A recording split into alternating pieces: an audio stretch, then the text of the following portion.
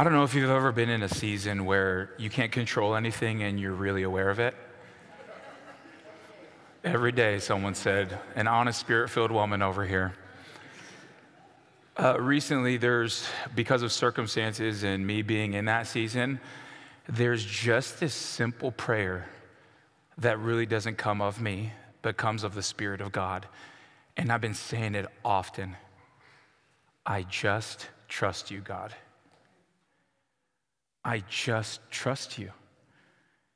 In the things that I can't control, in the controllables that I can, that I really cannot, in the circumstances that have been given to me, my family, I just trust you. Pastor Glenn, uh, he loves saying, when you can't trace God's hand, you can trust his heart. A wise saying. And it feels like I'm in that season. Church, what if the circumstances that are not a consequence of sin, that have came to your front door because of a diagnosis, because of a family predicament, because of things that you didn't ask for? What if those things were allowed or even given to you by God Himself so that you would trust him more. It is the foundation of a relationship. If we don't have trust in relationships with our loved ones, what do we have? Talk to me about love all you want, but it's gonna be difficult to love someone who you don't trust. Talk about sacrifice, cherishing one another, honoring each other. But over time, it will be hard to do so if there is not trust in our most important relationships. The reason I bring all those things up is because we're in Luke chapter 7. And trust is basic, the biblical word for trust and how it's played out is faith. It is trusting God. That's how we exercise faith. It's by trust. And specifically, the supernatural revelation that came to each born again person that we can trust this word. How it outlines God's heart for us and how we can trust his work in our life. Luke chapter 7 is a familiar passage for anyone who's been churched for decades. For you senior citizens, you're familiar with the faith of the Roman centurion a soldier who oversaw over a hundred soldiers. And what's a beautiful thing about this is that Jesus, the God of the universe, interacts with this Roman soldier without ever seeing him, hears about his reputation and the quality of trust he has in Jesus. And Jesus leaves amazed. Amazed by this Roman soldier who trusts him, who has never met him. Let's read the passage. Luke chapter 7, verse 1. When Jesus had finished saying all this to the people, he returned to Capernaum. That was his home base for his three years of earthly ministry. At that time, the highly valued slave of a Roman officer was sick and near death. When the officer heard about Jesus, didn't see him, he sent some respected Jewish leaders to ask him to come and heal his slave. This, this was highly unusual, church. Highly unusual because the Jews mostly thought of anyone who was not Jewish as fuel for the fires of hell. And here we have a reputation of a Jewish lover in this Roman soldier that is held in such high regard that the Jewish elders are going to Jesus saying, You've got to come and do this guy a favor.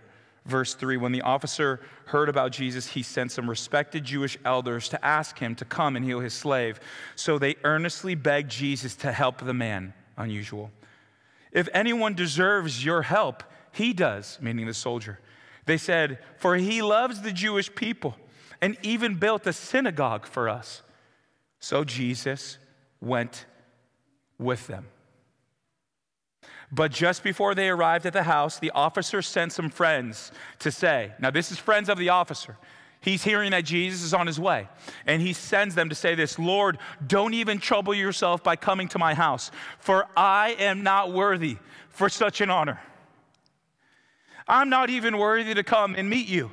Just say, church, just say the word from where you are, Jesus, and my servant will be healed. I know this because I'm under the authority of my superior officers and I have authority over my soldiers. I only need to say go and they go. I say come and they come. If I say to my slaves, don't do this, they don't do it. When Jesus heard this, here it is, he was amazed. Turning then to the crowd that was following him, Jesus goes out of his way and he says, I tell you this, I haven't seen faith like this in all of Israel. And when the officer's friends returned to his house, they found the slave completely healed. Jesus, the creator, sustainer, and end of all things, is amazed. Now at CLB, we have a big view of God because this outlines that He is sovereign. He takes history at His pace and He brings it to the ends that will glorify Him most. All while mixing in our free will towards those ends. God is all powerful, all knowing. And here we see that He was amazed. That, as a Bible reader, as you read throughout the week, should stick out like a sore thumb and make us ask the questions why. And the reason is because of the quality of this man's faith. I should clarify it. In other words, because of the type of trust that this soldier had in God. It's the reason why Jesus is left amazed. Have we ever wondered the importance of faith? Uh, now, outside of just our trust in our relationship with God, there's another time in the Gospels where Jesus says, where it says that Jesus was amazed. Mark 6 6, check it out. And he was amazed because of the lack of faith from the people he grew up around. What are the writers of the Gospels trying to communicate to us? Elsewhere, Jesus is departing from his disciples, and he says to them, When I, the Son of Man, when I return for his second coming, will I find faith? He doesn't say, Will I find hope? He doesn't say, Will I find love? He is intentional and he says, Will I find you trusting me? Trust is the bedrock and foundation of our relationship with our Creator. That's why it matters.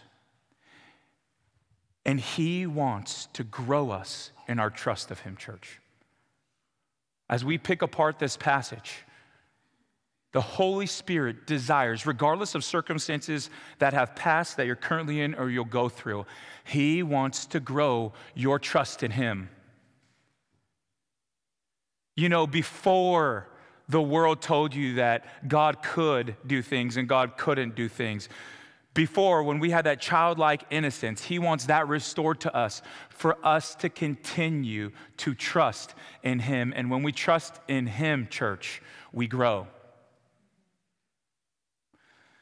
For those of us who got spiritually reborn recently, we are spiritual infants. God wants to grow us into spiritual kids, spiritual teens, spiritual young adults, spiritual adults, and spiritual senior citizens in regards to our trust of Him. He wants to grow us so that by the time that we are seniors, that we look more and more like Jesus. And this morning, we're going to take a look through this passage and see how the Roman soldier got there because it was not by accident. You ready to go through this, church? Let's pray. God, we give you access right now to our hearts, our emotions, our thoughts, our weeks, what we have coming up later this day. and we surrender it to you in Jesus' name. God, we need you. Holy Spirit, if you're not speaking to us, we don't want to be here. What can I do to communicate your love for your people? How can I, just a human, affect with just mere words the hearts and affections of your people? I can't. And I'm asking you now, Holy Ghost, right now, we welcome you in this sanctuary right now. And we stake claim on the promise that your word will not return void. We are asking, God, that you would increase our desire, appetite, and hunger to mature in Christ likeness, to trust in you, regardless of circumstances, and for us to put all the chips in in this circumstance and in circumstances to come that we choose you. We trust you in all things. Guide us and lead us, reveal and convict. In Jesus' name we pray. Amen. Amen.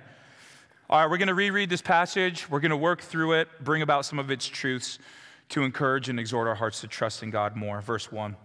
When Jesus had finished saying all this to the people, he returned to Capernaum.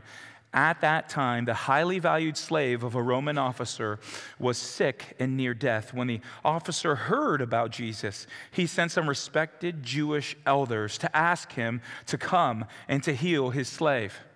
So, but the, the, the, unusual type of guy that this soldier was, in Roman law, you were actually given the right to kill your slave if they could not work. And here we find that he is saying, No, no, no, no, no, no. I want my slave to live. I want him to be healed. He's an unusual cat, which makes sense, right? Because this is an unusual faith that we see. Let's continue on, verse 4. So they earnestly begged Jesus to help the man. If anyone deserves your help, he does, they said, for he loves the Jewish people and even built a synagogue for us. So Jesus went with them. But just before they arrived at the house, the officer sent some friends to say, Lord, don't trouble yourself by coming to my home. For I'm not worthy of such an honor. I'm not even worthy to come and meet you. Pay attention here, church. Just say the word. From where you are, and your servant will be healed. Just say the word. This is a trust that walks by faith and not by sight.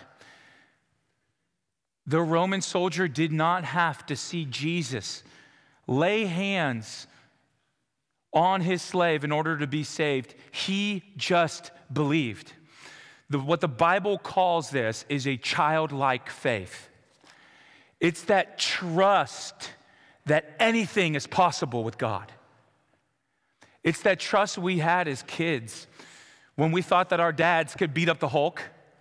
You know, the trust as kids when we thought we were as fast as Flash. It's that type of trust in God. And you know what the worst part of growing up, church? Is that we lose our imagination for the things that we thought were once possible. And the worst part of that is we get grounded in too much reason that we become skeptics of things that operate by faith. I remember reading my first Bible verse that had to do with faith, and it described it so well. Uh, 1 Peter verse or chapter 1 verse 8 though you have not seen him you love him. And even though you do not see him now you believe him and are filled with an inexpressible and glorious joy. I remember my heart being like yes that's the passage. Just envision what how crazy the born again life is. If we truly do not have faith, that means that when we're praying on our prayer walks, we're talking to air. That's Looney Tunes. And yet, because of faith, our trust in the supernatural, in which most of us have not seen the face of God, it is reasonable. God is looking to restore a childlike trust in Him. And when we do that, we start believing what this says about who we are, and we allow this to dictate to us what's possible and what God could do in a situation or circumstance when everything within us and our friends say, No, no, no, no, no, no, no. How can that happen? We say, But God, through His Word, through his Spirit's whisper in our thought life. God desires a childlike trust. And the beauty of it all, church, is that it enthuses him. Look with me, jump down to verse 9. When Jesus heard this, this type of faith, he was amazed. Turning to the crowd that was following him, he said, I tell you, I haven't seen faith like this in all of Israel. Do you hear Jesus' excitement?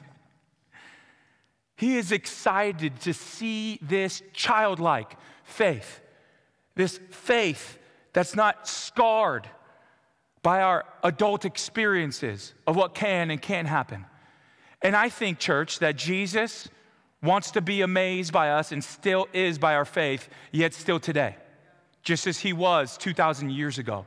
I think that when we exercise that childlike trust in God,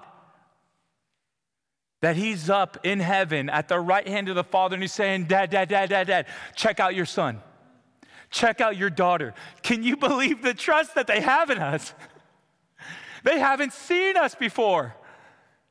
And they're trusting us with everything, with transitions, with the move, with their finances, with what is working out best for them, for our heart for them. They truly do trust us. That amazes and excites God. And isn't it just profound to really think about this?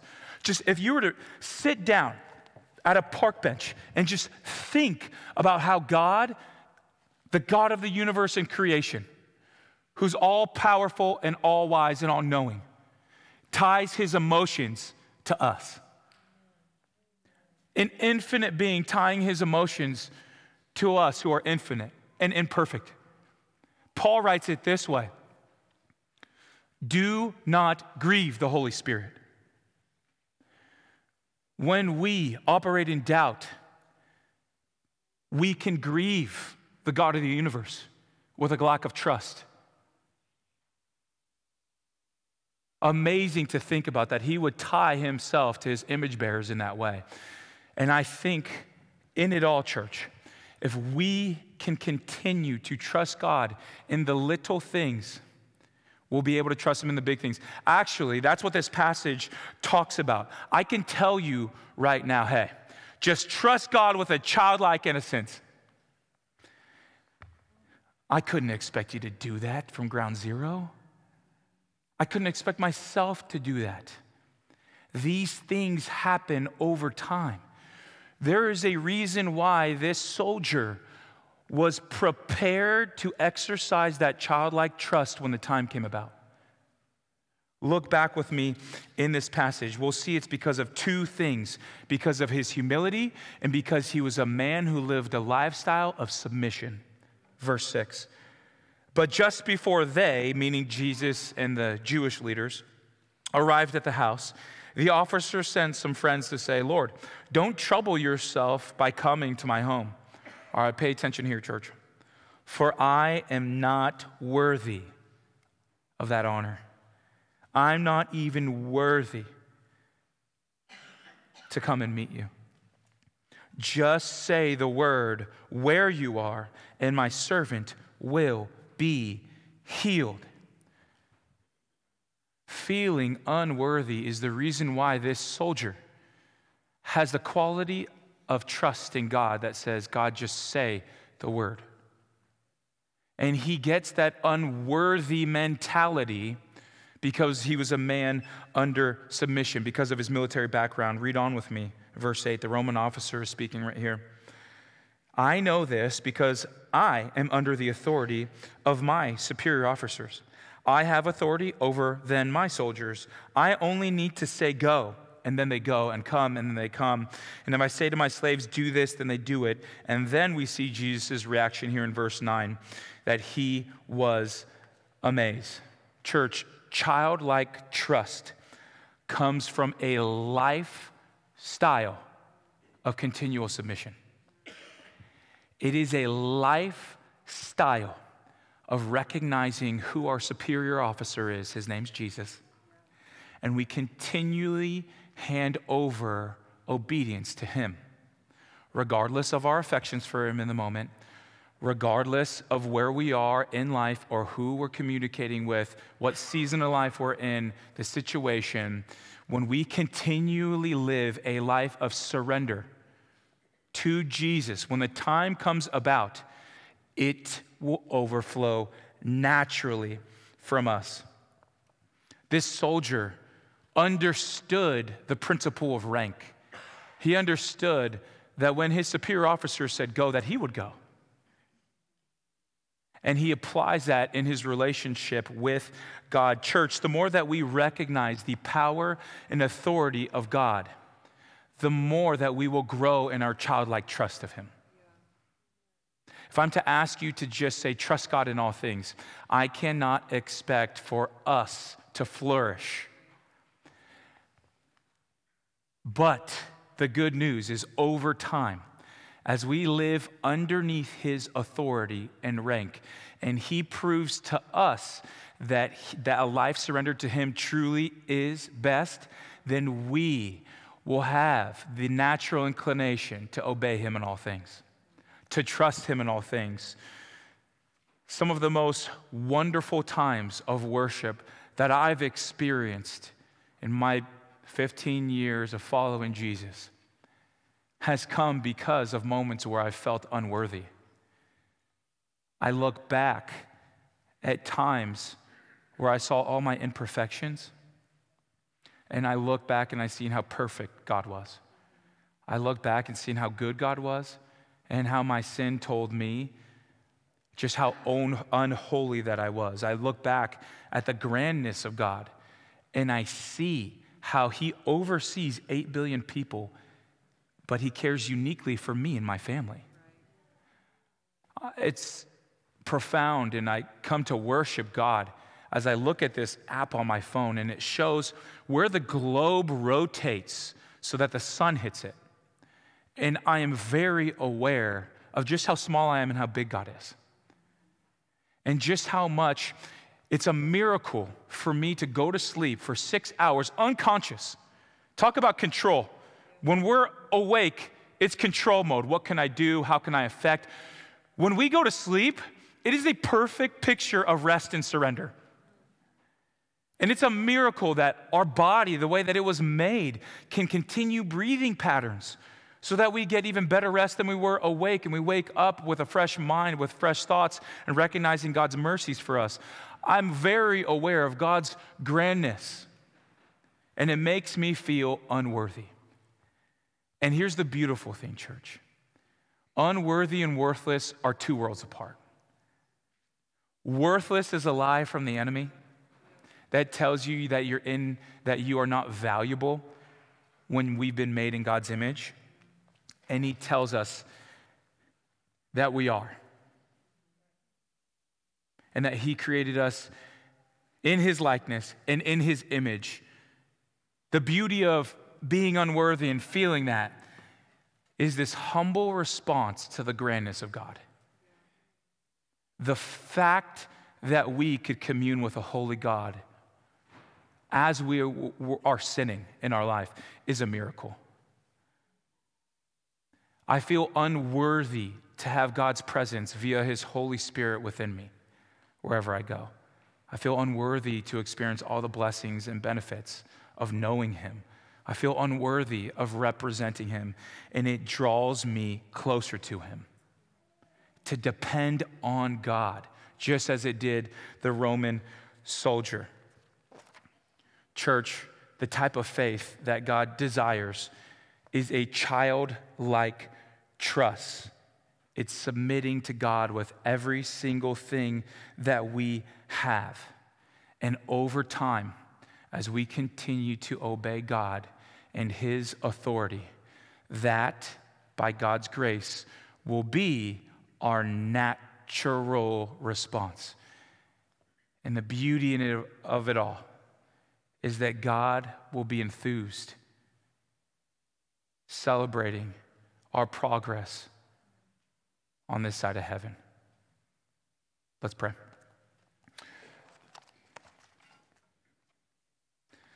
God, you're worthy of it all. You're worthy of all praise.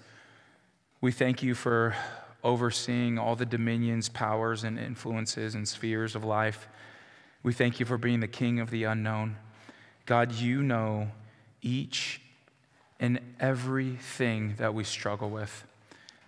You know the things that we do not trust you in. And you want a stronger relationship with us. And it starts with trust. Trust. May we be a people who look at circumstances and say that we just trust you in all things. Amen.